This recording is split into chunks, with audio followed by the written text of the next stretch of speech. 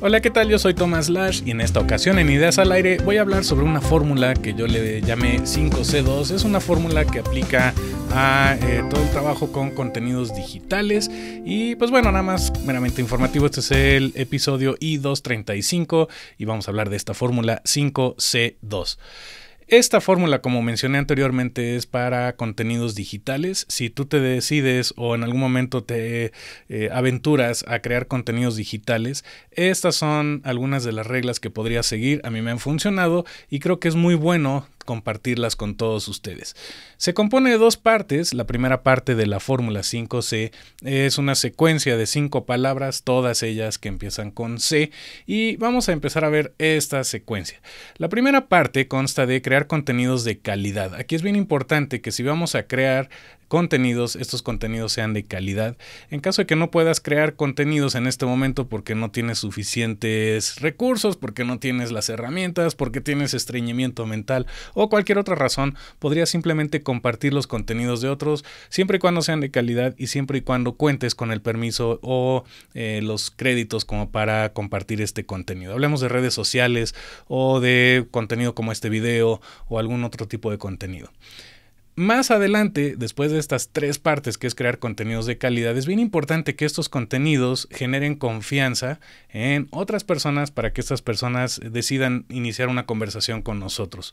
Eh, más que tú llevar la conversación, es mucho mejor que la gente se acerque y que tú inspires esta confianza a través de los contenidos que generas para que se dé esta conversación. Esta es la primera parte de la fórmula de 5C crear contenidos de calidad que generen confianza para iniciar una conversación. Y recuerden, si no estás creando contenidos por este momento, puedes compartir cosas de otros, ¿sale? Vamos a la segunda parte de la fórmula esta parte, después de que ya logramos todo esto, que ya se haya iniciado una conversación, que la gente tiene confianza para acercarse contigo y preguntarte algo en redes sociales, comentarios, Twitter, Facebook, Instagram, etcétera, viene la parte más difícil y que es la segunda parte de la fórmula. Es convencer a quienes ya te conocen a que se comprometan y se conviertan en tus clientes. Eh, está muy bien que podamos compartir cosas gratis en Internet y que en Facebook y en Twitter y en Instagram, redes sociales y otros medios podamos compartir muchas cosas. Aquí lo interesante es que trataremos de convencer a estas personas que ya te conocen a que se comprometan y se conviertan en tus clientes.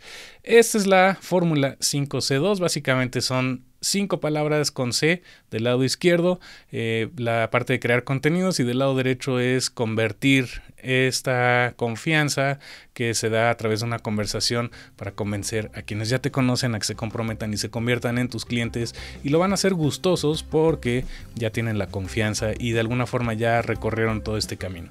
Este camino sucede gradualmente, no es de que puedas llegar a convencer a tus clientes inmediatamente, tienes que generar esa confianza y para empezar con todo esto pues es creando contenidos. Más adelante en otro video voy a hablar un poquito sobre la creación de contenidos y qué opciones puedes tener. Aquí simplemente quiero presentar esta fórmula, ¿sale? Entonces la idea de esta fórmula es seguir esta secuencia de las 5C dos veces y aquí está de nuevo todo el, panorama. Crear o compartir contenidos de calidad que generen confianza para iniciar una conversación y después de eso lograr convencer a quienes ya te conocen o a quienes te conocen eh, a que se comprometan y se conviertan en tus clientes. Esto, pues es la fórmula 5C2 que quería compartir contigo en este episodio de Ideas al Aire. Recuerden que aquí el objetivo es que seamos menos reactivos y más creativos.